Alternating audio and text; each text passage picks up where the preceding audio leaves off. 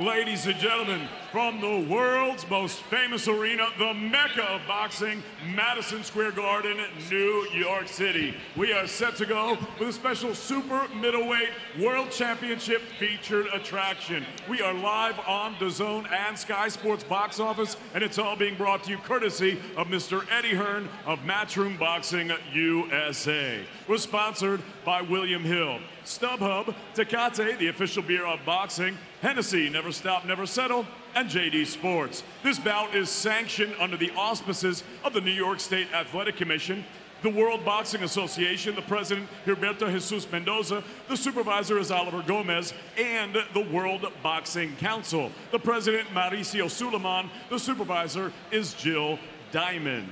Introducing your three judges scoring this world title featured attraction from ringside, Glenn Feldman, Kevin Morgan, and Steve Weisfeld. And at the sound of the bell, your third man in the ring, referee Charlie Fitch. And now, ladies and gentlemen, 12 rounds of boxing scheduled for the WBC Diamond, Ring Magazine, and WBA Super, Super Middleweight Championship of the World. Introducing first, fighting out of the red corner, the challenger. He stands with his head trainer, Jean-Marc Toesca. He wears the silver with white trim. He scaled 11 stone 12 pounds or 166 pounds. This two-time Olympian has a professional record consisting of 37 victories, three defeats. He has 21 wins coming by way of knockout. He is the former two-time champion of the world and the reigning WBC silver middleweight champion, hailing from Monte Carlo by way of Cameroon. Please welcome Hassan N'Dam. and his opponent across the ring fighting out of the blue corner. He stands with his head trainer, Joe Gallagher. He wears the red with the white trim. He scaled 11 stone, 13 pounds, 10 ounces, or 167.6 pounds. His professional record, a perfect one. 25 victories, no defeats. He has 18 wins coming by way of knockout. He represents an outstanding family boxing tradition as he is one of the four Fighting Smith brothers. And tonight, he will defend his world title for the very first time, fighting out of and proudly representing his home of Liverpool, England. Please welcome the reigning, defending, undefeated WBC Diamond, Ring Magazine, and WBA Super, Super Middleweight Champion of the World, Callum Mundo Smith. Smith. Hassan, Callum. Good evening, Hassan. Good evening, Callum. Gentlemen, you both know the rules. Obey my commands and protect yourself at all times. Please touch gloves now. Come out fighting at the bell. England with a good run at super middleweight in the 80s. Nigel Benn, Chris Eubank, more recently Carl Froch, James DeGale, and now Callum Smith, the world champion at 168 pounds, here making his New York City debut. Hassan N'Dam, Sergio, known for exciting fights. Known for being experienced, but more than that, resilient and very confident. And a lot of familiarity between these two as former sparring partners, so Callum Smith believes he knows what kind of fight Hassan N'Dam's going to bring tonight. Smith, long and lean, but with good power. Six foot three, 168. And comes out here for round number one, scheduled for the championship 12. Smith in the red, and Dom in the black and white fur. Don't say that too often. You can already see the size difference, a huge size difference in, in not only height, but in width. And that is a, that's a long jab that lands from Callum Smith. You know, when Hassan N'Dam has been at his best, it's when he's moved a lot around the ring. He gave Curtis Stevens fits in a fight a few years back, but to beat a guy like Callum Smith, N'Dam's going to have to get on the inside. He's going to have to make it a fight, and that could be dangerous against a fighter with this much power. Good jab again by Smith. This is about global awareness for Smith. There is a lot to gain by coming to New York City fighting on an undercard with Anthony Joshua. Joshua is already a huge star. Now he wants to be a worldwide star. His brand will just get bigger and bigger by coming here to New York. He recognized that when he saw Canelo Alvarez fight here in December. For Smith now, an introduction to the United States audience, and he comes in again as the champ. Well, they do call him El Mundo. That means world, the world. So he wants to be the champion of the world. He wants to fight and defend his title around the world. Well, that's what's exciting too, Sergio, is that you can be a world champion. We used we're very, uh, you know, we're very. I don't know, arrogant here in the United States. We always thought, well, to, if you're going to be a world champ, of course you must fight in the United States. You must fight in New York. That has not been the case the last 10, 15 years. But now it's still recognized as, hey, there's something to be gained by coming here to New York City. I agree. If you want to be the best in the world, you want to fight around the world. Smith looking to Stay measure, buries a hook, long with that jab. You can see the amateur pedigree, the calm from Smith as well. N'Dam will try to make it a little more of a firefight. It's a long jab by Smith. You get the feeling he could control this fight with just that.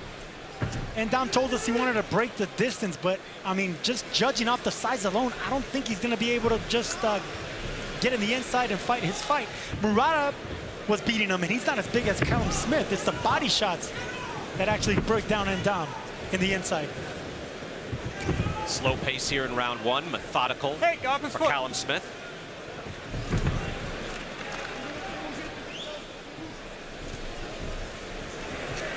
I think that's N'Dam's fight, early at least. You want to move around the ring.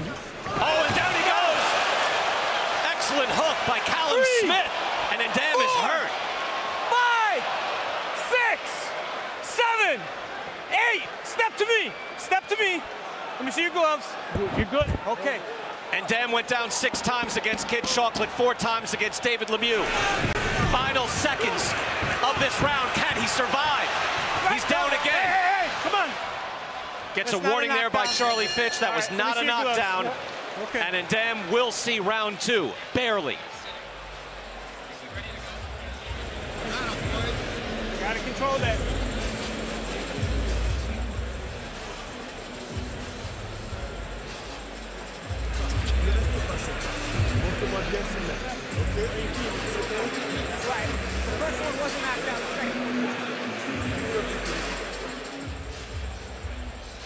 Was a check hook that actually caught him, and Dom got a little bit too aggressive. He was really hurt. I'm, I'm, look, Brian, he survived the round. I just think the size disparity is going to be way too much to overcome if you're N'Dam. He was seriously hurt with that check hook. I didn't know if he was going to get up, Sergio. The way the way he was, you know, clawing. He was trying, but wow, he looked hurt. I mean, N'Dam has been down 12 times and three opponents in his career, but I just think the size is way too much. Callum Smith is a big, big fighter and a big puncher. Round two. N'Dam able to get up, was checked out by the doctors. We welcome in right now Daniel Jacobs, who joins us ringside. Daniel, good to see you. Thank you guys for having me. I'm sorry I'm speaking so fast, but it's happening quickly here, Daniel. As you can see. Give me your thoughts on round one, what you just saw. Well, this uh, Caleb guy Smith is a big fighter. He's strong, he's long, and you know how to use his reach and his range. I mean, we've I've seen uh, N'Dam in the past, and I know he's a great boxer. but Oh, another hook. And it does happen fast. Four. And we've seen Five, this before. Hassan six, N'Dam going seven, down and getting eight. right back Step up. to me, Hassan. Look up Brazilians in the dictionary. You'll see a You're picture of that man right there. Smith calmly moving in, was calmly watching from the neutral corner, looking to counter. N'Dam trying to fight back, trying to fight back a little bit. Brian Smith is throwing some textbook shots. I mean, these are clinical, what he's doing out there. Yeah, the right hand, lead right hand right there. Firing back with a hook and Dam coming back and digging to the body. Daniel, you mentioned this is a tough package in Callum Smith to fight with the height and just and the calm way he's able to extend. absolutely, he has a fierce, calm spirit about himself when he approaches, but he's very textbook about his approach, and he, you can tell he's very talented. But I love his defense. I'm seeing really good defense from him, and that's what you expect from a champion like him- himself. Daniel, if we get a chance, we'll ask you about your, your thoughts now. You've been able to Sam. Look over his process your fight against Canelo Alvarez. Want to get your thoughts on that and hopefully your thoughts on Triple G. You made a, a great effort against Triple G. That was a very close fight. If we get a chance here, we, we get through things. N'Dam, and Dom told us he wanted to break the distance, but every time he gets moved by that left hook of Smith, I just don't see him fighting, winning in the inside. I, I, that's not his fight. And Smith is able to calmly, you see the arsenal, calmly throw lead rights, have a long snapping jab, dig in with hooks, just the total package. Caleb Smith keeps his hands up. He catches punches. He's an excellent counter puncher. And he digs down to the body. Long jab there by Smith.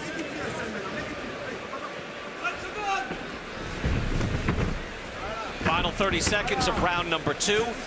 Super middleweight championship of the world, and Callum Smith showing the class so far here to the fans in the U.S. Good jab there by N'Dam. Able to pierce through the guard. As we get into the final seconds here, Danny, your thoughts now. Give me your thoughts now that you've been able to process the fight against Canelo. How, how did you think it went? Well, it's still for me. I thought the fight could have been at least a draw. I thought it was a competitive fight. Canelo was very strong. He was good in his defense. But for me, I thought I still could have edged out a draw at least if I didn't see myself winning. But I think for me, making the 160 pound was too much for me. And going up to 160 pound division for me might be my next move. You say go to 168 is your next next stop there. Do you watch a fight like this almost in a scouting situation, how you would fare? Because with the politics of it all, this is a realistic fight for you at some point in the next year. Well, absolutely. And I wanted to because I've never really seen Caleb Smith before in the past. I've heard of him, but this is my first chance getting to see him live. And he's a big, strong competitor. He's talented. I'm looking forward to it because I left, and if I do go to middleweight, uh, super middleweight division, I would have left a very stacked middleweight division. So to go up with this competition in the super middleweight division is exciting for me. There's the counter hook again by Callum Smith. Your thoughts on what you're seeing? This is the man at 168, Daniel. If you're going up, your, your quick thoughts. I love it. I think he's very talented. I think he's strong, and I think his height and his range is his key to victory in, in every fight. Uh, I'm looking forward to moving up and hopefully facing such a champion. I, I like what you said, Daniel. You, you dug a little deep there by, you know, in your analysis, saying he has a calm spirit about him. That's that, uh, that's well put. Yeah, and that demeanor can be very, very pressuring, and it can tire you out if you're the opponent because mentally, there's a mental battle going on inside. And a guy with such a stature as Smith coming in with such a poise, he's very, very dangerous, and you're not going to know where punches are coming from. Heavyweight championship is next. Anthony Joshua, Andy Ruiz. You're watching the super middleweight championship of the world. Callum Smith and Hassan N'Dam. And you see the CompuBox stats. It is all Callum Smith.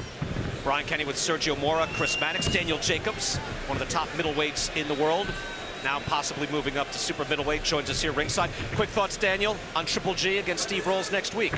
Uh, don't know too much about Rolls, but I'm looking forward to seeing uh, Golovkin back in action. I want to see if he lost the step, if he still have the grit, if he still have the skills. Uh, but in general, I know that uh, Golovkin is going to bring it. So regardless to what, I'm a fan and I want to see him fight. Excellent. That'll be next week right here on DAZN. Smith working over Hassan N'Dam. N'Dam Good head movement there. He's got into a good defensive mode, and he'll need to stay that way. Counters with a cuffing right. And I, I tell you, Brian, N'Dam has guts. He really has guts. He's, he's fighting well right here, he's Sergio. He's fighting well off the off the back foot and with his back against the ropes, but he needs to move. I mean, he can't fight in the inside against a bigger man like this. He's but digging he, in right now. There's no question. He has found a good rhythm. But that was what his game plan was. He told us, I want to break the distance. I want to get in the inside with the bigger man. And he's keeping his word. That was a pretty good right hand that N'Dam landed right there. Callum Smith took it well, but probably his best shot of the night. Body shot there by N'Dam in the inside. Yeah, N'Dam, no question. He was able to make things happen by moving his head and countering with hard shots. Of course, you've got to keep that going. Now he battles back. Good exchange inside. Great exchange. Callum Smith was looking for that check hook, almost landed it again. See the uppercut there by Smith. And a right hand, and that hurts it down. Wow, he is just fast. That's uh, Dan. Your thoughts on the, on that fast right hand? I, am looking at it, and it was a strong, short, crisp right hand. For such a big guy, he can throw short, compact punches. I like what I'm seeing.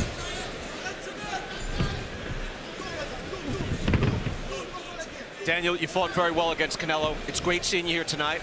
Love to see you in there again at either 168 or 160. Maybe we'll see you next week with Triple G here, all right? Well, thank you very much. You. Oh! Ouch, stop Down the fight. Goes. They should stop the fight. Four. N'Dam five, badly hurt. Six. Fitch is counting. Eight. He cannot be saved by the bell. No. No. And that's it. No, it is over. no. Daniel, thank you so much. This fight is done. be hard. I know Callum Smith has defended here in New York City. Charlie Fitch, the referee, did exactly what he needed to do. This man would keep getting up. The way his, his head bounced off the canvas, do not let him continue. That could be very dangerous. Good call there by Charlie Fitch. Explosive work by Callum Smith. Through every single round, he raises his hands in triumph. That was a fantastic performance.